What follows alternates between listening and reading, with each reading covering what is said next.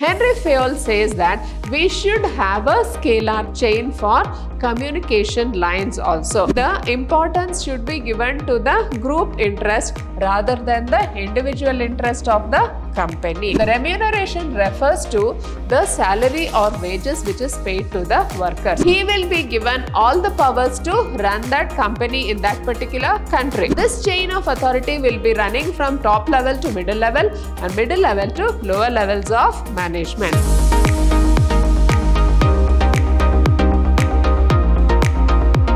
Hello everyone, I am Poornima, faculty in the Department of Commerce, Vidhyaashram Pre University College, Temple of Excellence.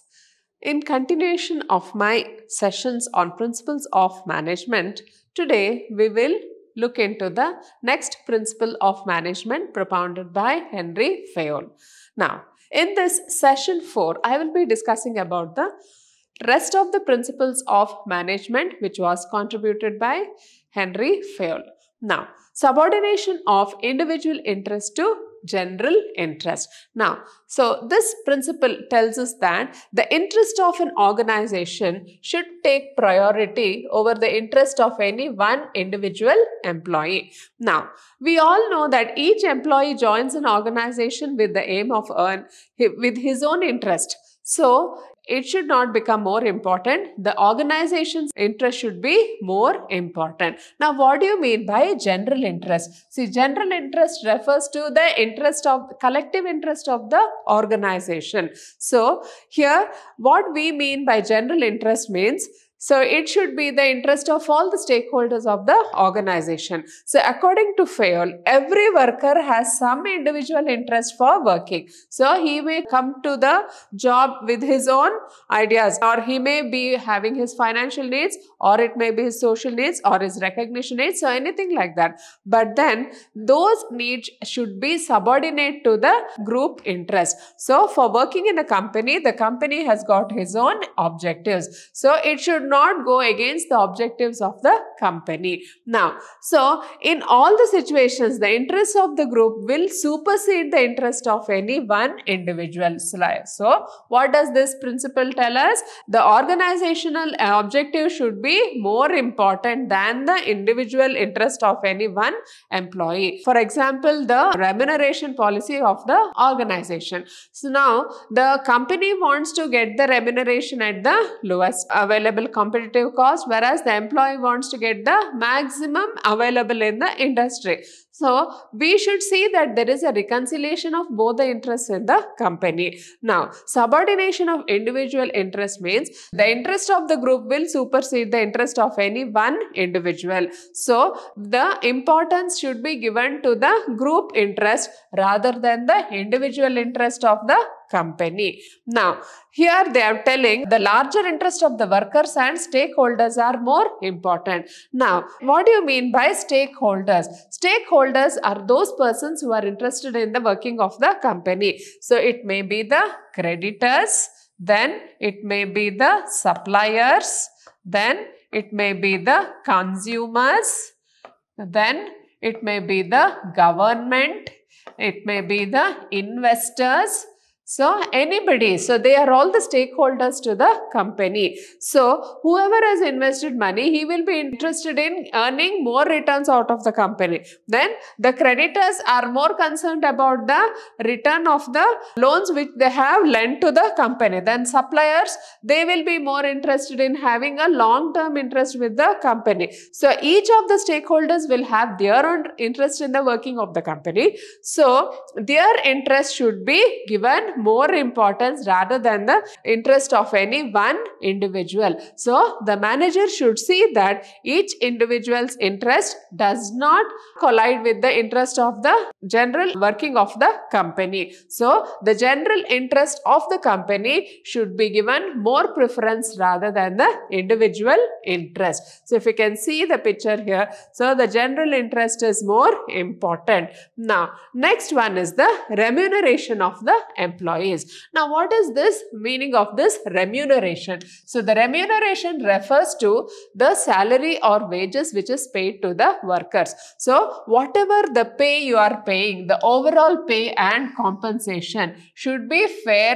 to both the employees and the organization. And employees should be paid fair wages which should be given them at least a reasonable standard of living. So, the wages which is paid to the employee should give them a reasonable standard of living. Here, we should see that ensure that the employee gets a reasonable standard of living and at the same time it should not be a heavy burden on the organization. Then, so it should be within the paying capacity of the companies. That is, the company should not be overburdened with the salary of the employees. Then, again, it says that remuneration should be just and equitable. So, you should see, ensure that the persons who are working are fairly paid and they should be equitable. They should be just and equitable for all the employees. So only when there is a just and equitable remuneration, there can be good relations between the workers and the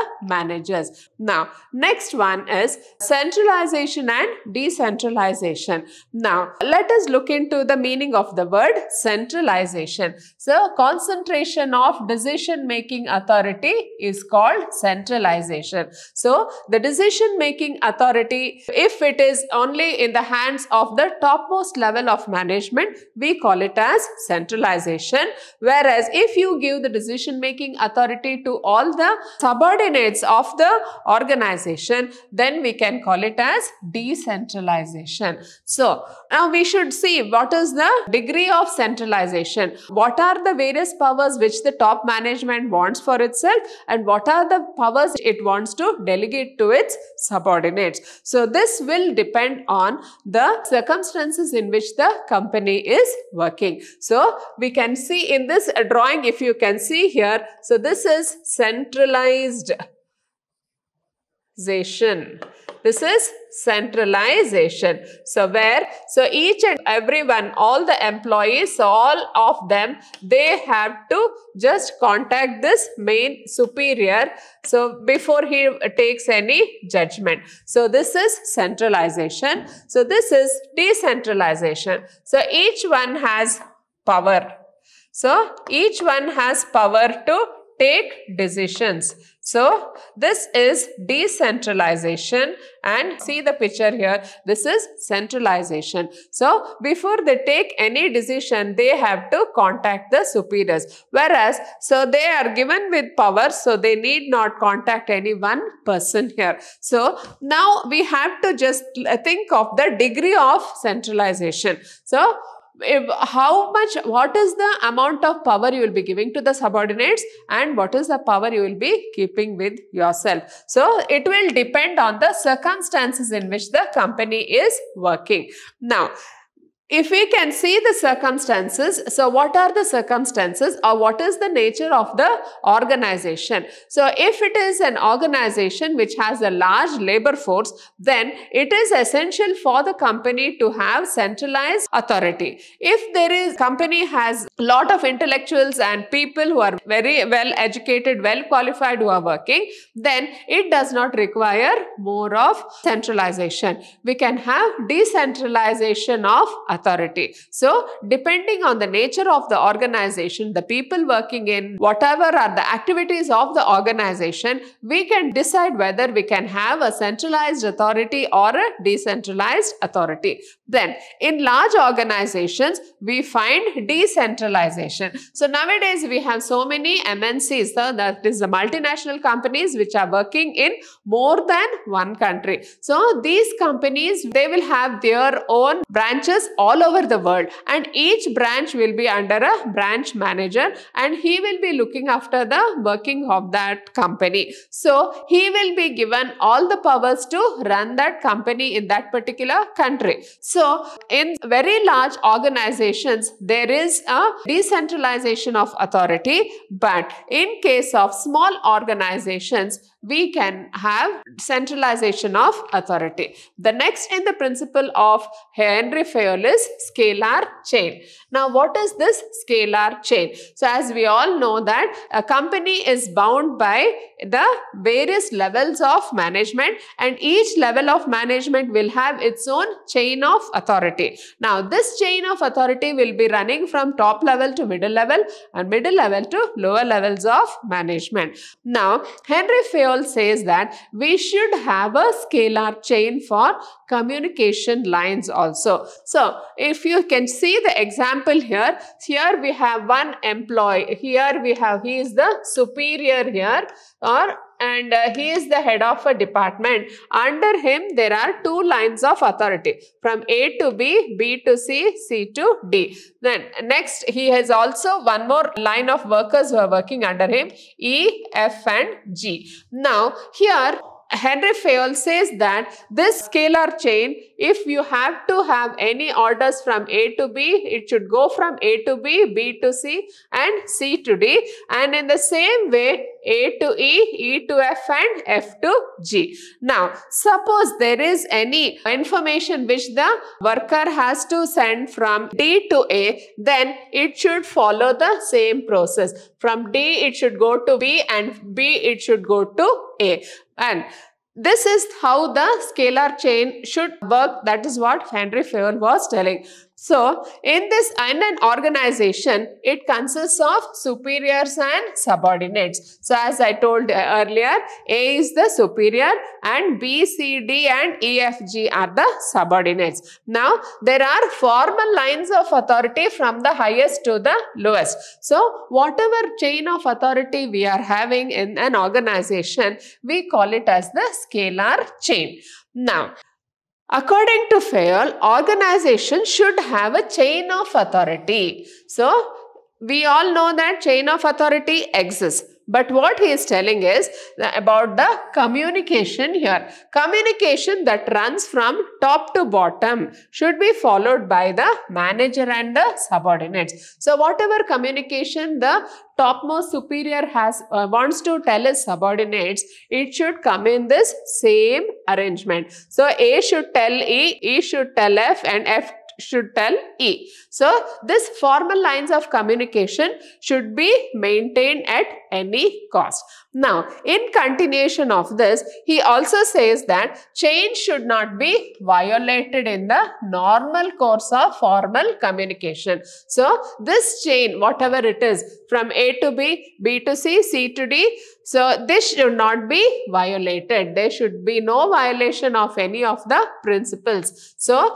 he says that this formal lines of communication should be maintained. But in case there is an emergency, then this communication between employees of the same level can be had. So, in case there is an emergency, we can say that D can talk to G. So, D can talk to G. So whatever information he has to tell, he can directly tell G so that the information can be conveyed faster. Now this shortcut communication, we call it as the gang plank or this is the gangplank which is to be called as. So this gangplank, through the gangplank, we can see that the information is conveyed faster. Or you can also say that D can directly contact A in only where? In case of emergencies. So only in case of emergencies,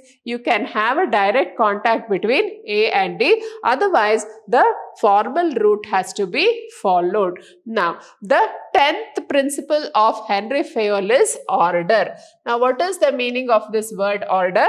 Order means, according to Fayol, people and material must be in suitable places at appropriate time for maximum efficiency. So he says that everything and whatever the resources in the organization, it should be in suitable places. So wherever the machinery is there, so everything related to the machinery and the position of the workers should be at their designated places only. So only if they are at the designated places, only then we can have maximum efficiency. Now, why does order is important? Otherwise, the people will be searching for the various tools which they need to work. So, and a place for everything and everything it in its place. A place for everything and everything in its place means you should see that all the workers should have a proper place to sit in and also if they are working, so whatever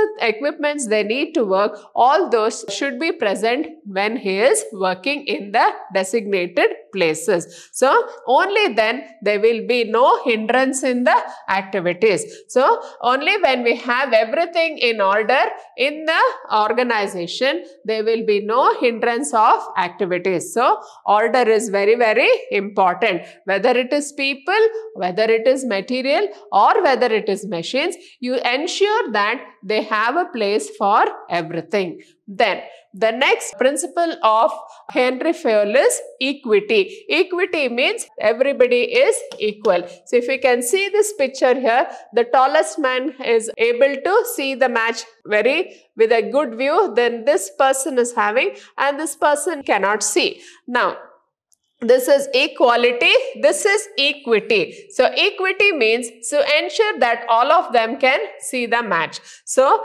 what is the meaning of equality and equity? Equity means you see that it emphasizes kindliness and justice. So you see that all the persons who are working in the organization they should be treated with kindness and justice and in the behavior of the management manager towards the workers so it will ensure loyalty and devotion. Only when the manager treats everybody with kindness and justice then he can earn the respect of the employees and also the loyalty and devotion towards the organization. So, it says that there should be no discrimination against anyone. So, all the employees should be treated equally and this equity principle and how we can treat them equally. There should be no discrimination on the basis of religion, language, caste, belief, nationality, etc. So, we have to cut across all nationalities, caste, religion and beliefs and see that everybody is treated equally. Then the 12th principle of Henry Fayol is stability of personnel. Now what does it mean by stability of personnel? You see that the employees once they are appointed to the organization, they be in the organization for a very long time. So at the drop of a hat they should not say I quit, I quit, I quit. So this is wrong. We should not have this sort of a situation in any company. So once the employee is appointed he should be in the company for a very long time. You should see that he has a comfort zone in the company to work. The employee turnover should be minimized. Now, what is this employee turnover? Employee turnover means the employees will be quitting the organization. So, it should be minimized. Only if we can minimize this turnover, we can get organizational efficiency. So, for an efficient running of an organization, you try to retain the employees as much as possible. Then personnel should be selected and appointed after due and rigorous procedure. So the whatever the persons you are appointing for your organization, they should be selected and appointed after due and rigorous procedure. That means your selection process should be tough to see that the persons who are weak-minded will fall off in the initial stages and only the persons who can endure all this test will remain in the organization. Then they should have stability of tenure. That is, they should work for a very long time in the organization and they should be given reasonable time to show results. That is, you give them time for them to prove themselves in the organization. So, how important they are? They should be able to show their efforts to the management. So, for that, you have to give reasonable time to the employees. So, this is what the stability of personnel principle tells us. Then, Next one is the initiative. So, what is this principle of initiative? You can see here, one person is stepping out first and all others are just standing there. Now, we will just understand the meaning of this picture through this notes here. The worker should be encouraged to develop and carry out the plans for improvement. So as you all know, the workers have to be given the daily work. So what work they have to do, what is the time taken and what is their target. So everything has to be fixed and the worker has to do the job. Now, when he is doing the job, he should take initiative. What is this initiative?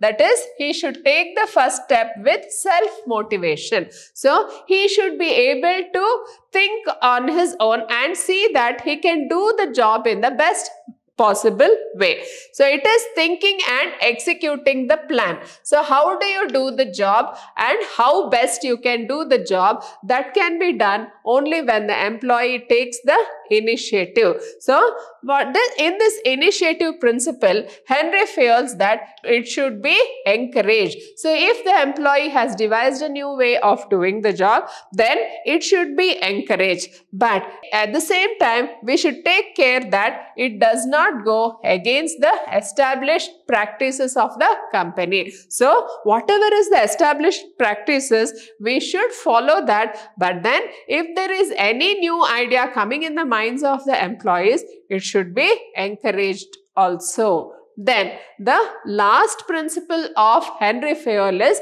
esprit de corps. So what does this mean? It says that management should promote team spirit team spirit. So, all the workers of the organization should see that they work as a team and there should be harmony among the employees. So, each one is holding the hand here. So, it represents the employees. So, the employees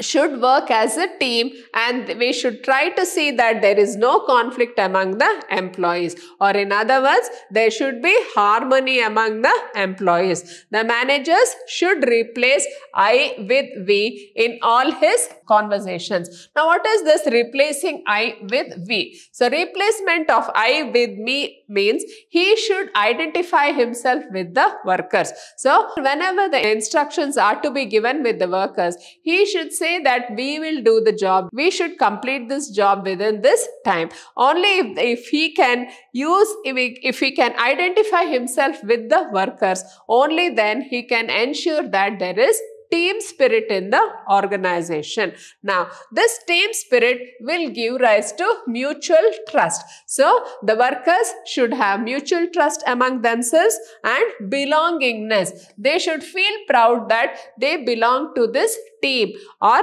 they have to have a sense of belongingness to the organization. So, when we do this, it will minimize the need for using penalties. So, whenever there is team spirit, harmony, belongingness and loyalty, mutual understanding among the employees, then there will not be any conflict in the organization. And when there is no conflict in the organization, we can ensure that the things don't go out of hand or there are no indisciplinary actions in the environment. So, when there are no indisciplinary actions, then we can also avoid using penalties. So, these are the 14 principles laid down by Henry Fayol which are relevant even today. So, these 14 principles of management have their own interpretations in this world and these principles are taking their own interpretations and because of which we have seen the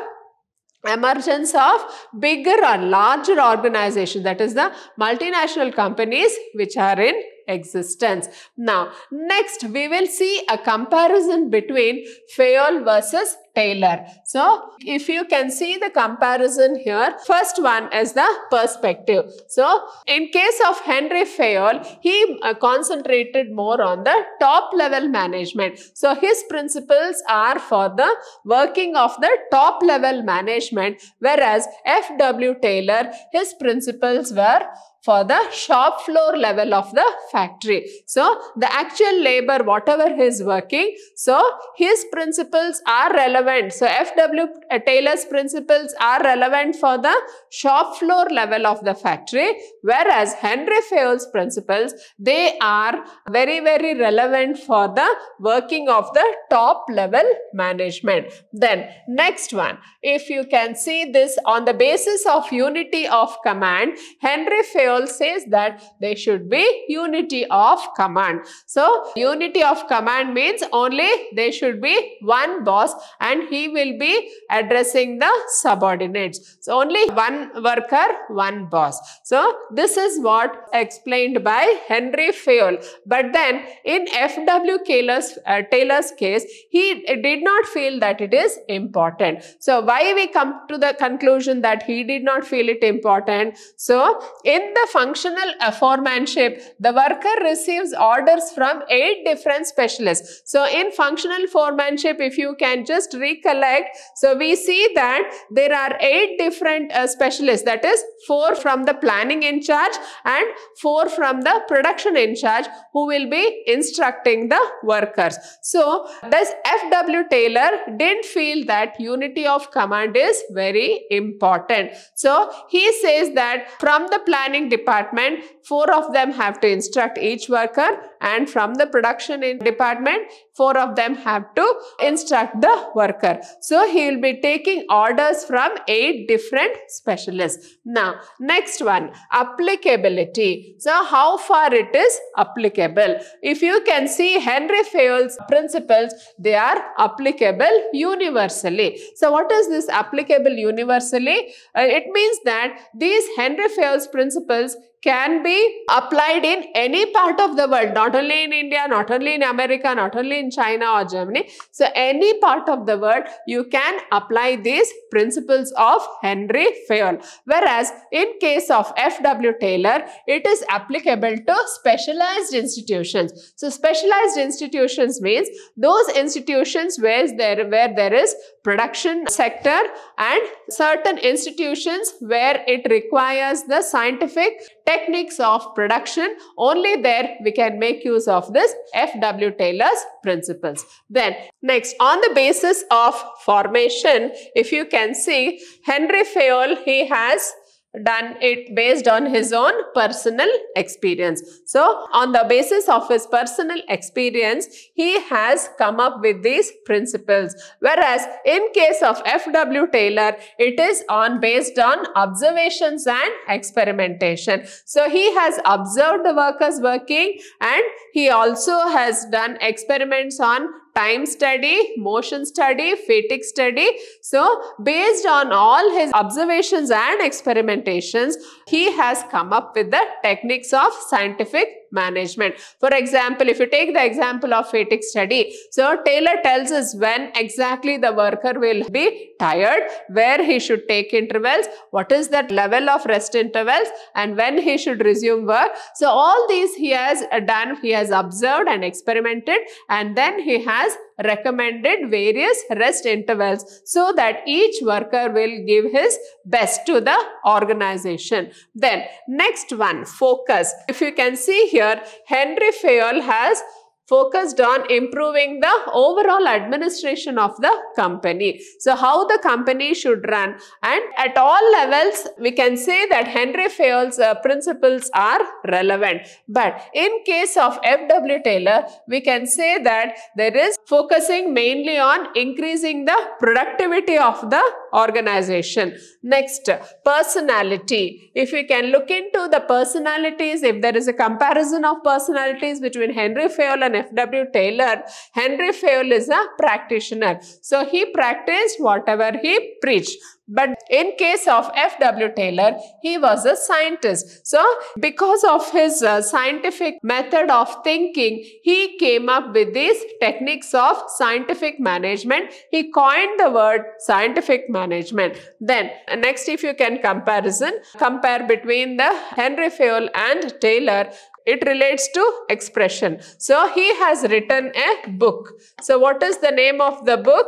General Theory of Administration. Whereas Taylor has written a book on scientific management. So whatever may be the case, whether it is Henry Fayol or F.W. Taylor, both are very, very important to all the management students because these principles are relevant even today. Now, in any organization, if you can see that there is a absolute uh, efficiency received from the workers, it means that these principles of F.W. Taylor and Henry Fayol are working. So, they have laid down the foundation for this basis of management theory and they are one of the most foremost and important management thinkers of our times. So we come to the end of the session. Thank you.